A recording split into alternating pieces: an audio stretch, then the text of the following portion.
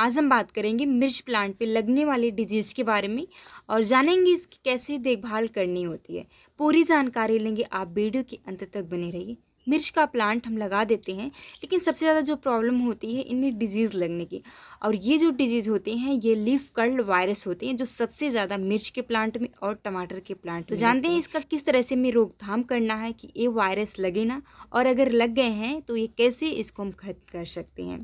तो आप यहाँ पर देख सकते हैं जो मिर्च का प्लांट हम लगाए हैं किस तरह से इनकी पत्तियाँ मुड़ने लगी हैं। कुछ जब इसकी पत्तियाँ नीचे की तरफ़ मुड़ती हैं तो यहाँ पर ये जो वायरस लगते हैं ये लीफ कर्ल वायरस होते हैं जो कि वाइट मक्खी के अटैक से लगते हैं। जब यहाँ पर ये मक्खी आती है तो अपने एक को छोड़ती हैं, वहाँ से वायरस फैलता है, जो धीरे धीरे पूरे प्लांट की लीफ को ख़राब कर देता है। ऐसे में प्लांट की ग्रोथ रुक जाती है और उसमें ना तो फ्लावर आते हैं, ना ही उसमें फ्रूट बन पाता है। तो जानते हैं कि किस तरह से इसको हम रोक सकते हैं। तो अगर आपके मिर्च के प्लांट पर इस तरह से पत्तियाँ मुड़ रही हों तो उसमें वहाँ पर लीफ कर वायरस का अटैक होता है। तो आपको क्या करना है? जब इनकी पत्तियाँ मुड़ने लगे तो आप उसकी ब्रांच को ऐसे ट्रिम कर दीजिए, तोड़ दीजिए तो वहाँ से इसकी नई ग्रोथ होगी। क्योंकि जो वायरस होते हैं, ये ऑर्गेनिक तरीके से नहीं जाते हैं। आप कितना भी इसका घरेलू उपचार कर लीजिए, लेकिन ख़त्म नहीं होते ये वायरस होते हैं। वायरस का अटैक इतना ज़्यादा होता है, इतना भयानक होता है कि पूरे प्लांट की लीफ को प्रभावित करते हैं, ऐसे में इनको रोक पाना ऑर्गेनिक तरीके से बहुत मुश्किल हो जाता है। आप इसको रासायनिक तरीके से रोकथाम कर सकते हैं, लेकिन ऑर्गेनिक तरीका बिल्कुल काम नहीं आता है। मैं कई बार ऐसे ट्राई कर चुकी हूँ, जो कि इनके पत्तों पर कोई असर ही नहीं करता है। लेकिन अगर आप रासायनिक तरीके से जो मिर्च है, उसको नहीं खाना चाहते हैं तो आपके लिए ये सबसे अच्छा उपाय हो सकता है। आप इनकी पत्तियों को कुछ इस तरीके से तोड़ दीजिए और इन पत्तियों को सॉइल में दबा दीजिए या फिर अपने गार्डन से कहीं दूर फेंक दीजिए।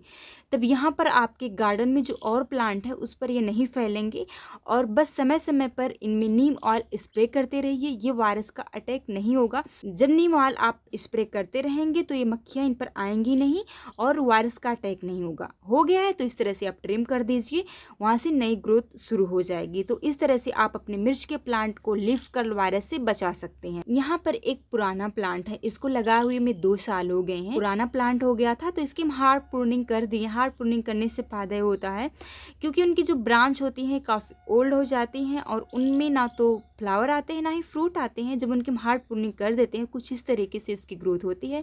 आप यहाँ पर देख सकते हैं इनकी जो लीफ निकल रही है, बहुत ही हेल्दी है और बहुत अच्छी ग्रोथ होती है। जब आप प्रूनिंग करें, उसके कुछ टाइम के बाद उनकी सॉइल को ऊपर से थोड़ा सा निकाल कर उसमें फर्टिलाइज़र डाल दीजिए, जिससे इसकी नई ग्रोथ हो सके।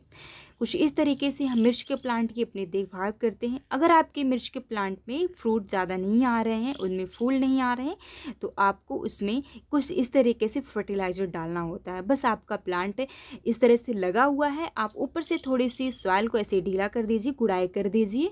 और फिर एक से दो दिन के लिए छोड़ दीजिए। फिर एक से दो दिन के बाद आप कोई भी ऑर्गेनिक फर्टिलाइज़र को डाल सकते हैं। यहाँ पर काउडंग कंपोस्ट का प्रयोग करेंगे। आप वर्मी कंपोस्ट को प्रयोग कर सकते हैं। आप काउडंग कंपोस्ट में नीम खली का जो पाउडर आता है, उसका प्रयोग कर लीजिए या फिर मस्टर्ड केक पाउडर को भी इसमें थोड़ा सा मिक्स करके और इस फर्टिलाइज़र को अपने प्लांट पर पंद्रह दिन में या फिर आप बीस दिन पर एक बार देते रहेंगे तो आपका प्लांट काफ़ी हेल्दी रहेगा और उसमें बहुत सारे फ्लावर आएँगे, बहुत सारे फ्रूट बनेंगे। तो कुछ इस तरीके से फर्टिलाइज़र डालना है। बस यहाँ पर गुड़ाई करने के बाद, एक दो दिन के बाद ही फर्टिलाइज़र डालें। यहाँ पर आपको दिखाने के लिए हम तुरंत फर्टिलाइज़र इस तरह से डाल दिए हैं। लेकिन ये तरीका आप दो दिन की बात करेंगे तो काफ़ी अच्छा रहेगा। अब फर्टिलाइज़र डालने के बाद कुछ इस तरीके से गुड़ाई कर दीजिए। थोड़ा सॉयल में फर्टिलाइज़र मिल जाए, फिर ऊपर से आप सॉयल डाल दीजिए या फिर आप यहाँ पर मल्चिंग भी कर सकते हैं, जिससे कंपोस्ट आपका सूखेगा नहीं। और अगर बारिश का मौसम है तो बहुत ज़्यादा इसमें पानी नहीं ऑब्जॉर्ब होगा। गर्मियों के मौसम में इसमें नमी बनी रहेगी तो इस तरह से आप मल्चिंग कर दीजिए। आप कोकोनट फाइबर से कर सकते हैं फिर कोई भी ऐसी सूखी घास है, आप उस पर ऐसे डाल दीजिए। मिर्च प्लांट को बहुत ज़्यादा पानी की आवश्यकता नहीं होती है। जब इनकी सॉयल सूख जाए, तभी पानी डालें। अगर आप बार बार पानी डालते हैं तो